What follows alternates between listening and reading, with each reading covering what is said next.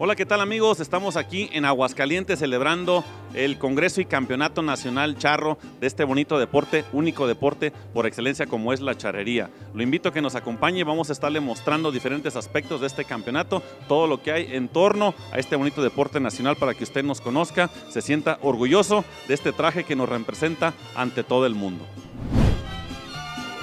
Hola amigos, ¿qué tal? Pues aquí continuamos hablando de la charrería.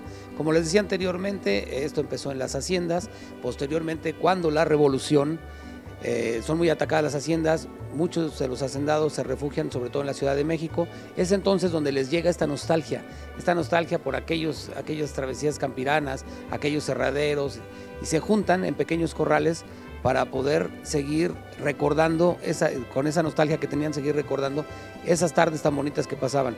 Se conjuntan y es así como se va formando poco a poco las asociaciones de charros.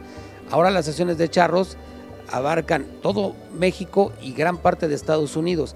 Eso, se forma la federación, la federación nace en 1933, eh, la CODEME también nace en 1933 y jala a la federación como uno de los deportes principales, la charrería, y es la que más agremiados tiene.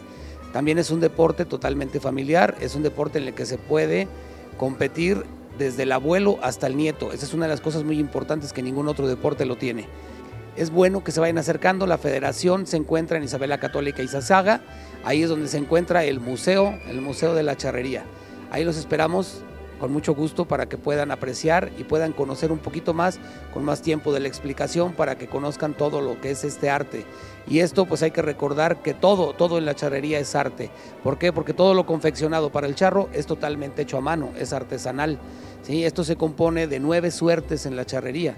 ¿sí? Estas nueve suertes que nacieron realmente como faenas campiranas que posteriormente se fueron reglamentando y ahora se conocen como suertes charras. Está la página para que puedan investigar, para que puedan saber, para que se acerquen.